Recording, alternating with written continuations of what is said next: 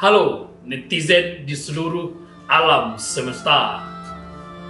Tepuk tangan ini saya haturkan kepada Presiden Joko Widodo yang telah mengangkat Ibu Profesor Hajah Megawati Soekarno Putri menjadi Ketua Dewan Pengarah Badan Riset dan Inovasi Nasional. Ingat loh ya, Badan Riset dan Inovasi Nasional.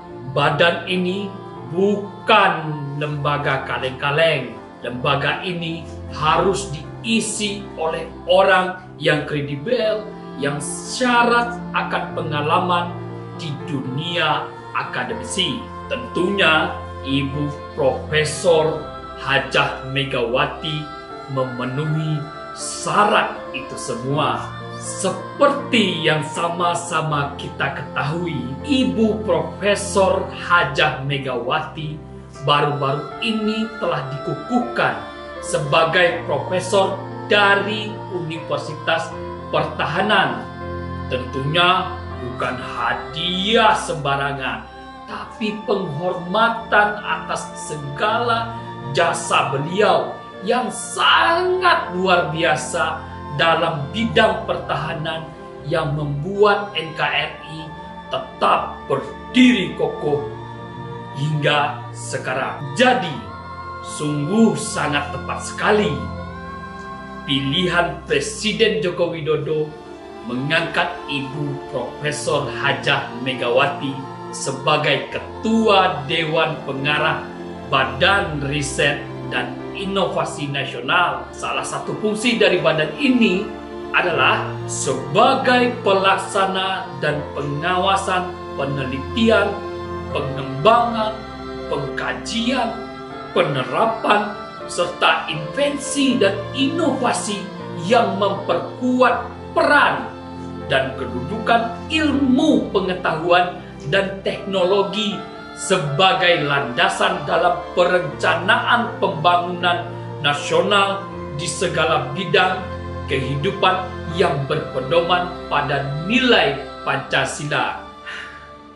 Saking panjangnya, saya menjadi bingung membacanya. Kita tahu Indonesia memiliki banyak PR yang harus diselesaikan dengan Badan Riset dan Inovasi yang digawangi Profesor Hajah Megawati, PR tersebut bisa segera diselesaikan. Masalah pertama yang kita alami yakni masalah korupsi. Korupsi telah menggerogoti merugikan masyarakat Indonesia. Saking parahnya dana bantuan sosial untuk masyarakat yang menderita karena pandemi COVID-19 dikorupsi, dicuri, digarong, dirampok oleh Menteri Juliari Batubara. Kita tidak perlu sebut dari partai mana, tapi korupsi ini perlu segera diberantas dalam tempo yang sesikat-sikatnya. Semoga hadirnya Ibu Profesor Megawati di badan riset ini menghasilkan riset dan inovasi yang berdampak signifikan dalam pemberantasan korupsi di Indonesia. Tidak ada lagi korupsi bantuan sosial termasuk korupsi lainnya juga. Masalah kedua, masalah penegakan hukum. Sangat miris seorang buronan yang telah menghilang lebih dari setahun belum diketahui rimbanya hingga saat ini. Kasus Harun Masiku ini seolah menampar muka para penegak hukum di Indonesia. Seolah-olah penegakan hukum kita tidak memiliki sumber daya, tidak memiliki teknologi, dan tidak memiliki kemampuan untuk sekedar menangkap Harun Masiku. Dengan adanya Ibu Profesor Megawati di badan riset ini mampu menghasilkan inovasi untuk meningkatkan kemampuan aparat dalam menangkap buronan seperti Harun Masiku.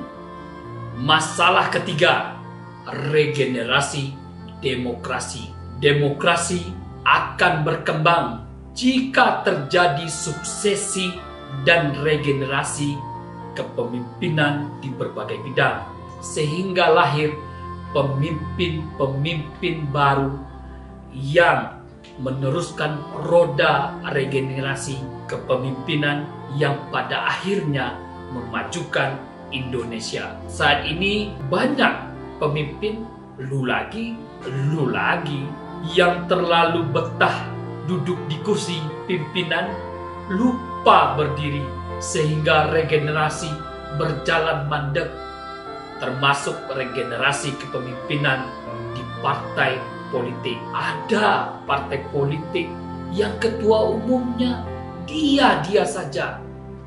Mudah-mudahan Ibu Profesor Megawati di lembaga riset ini melahirkan inovasi yang bagi terciptanya regenerasi kepemimpinan di tanah air sehingga demokrasi kita semakin maju. Sebagai penutup, saya mengucapkan selamat dan bangga dan bravo kepada Presiden Joko Widodo dan Ibu Profesor Hajah Megawati Soekarno Putri.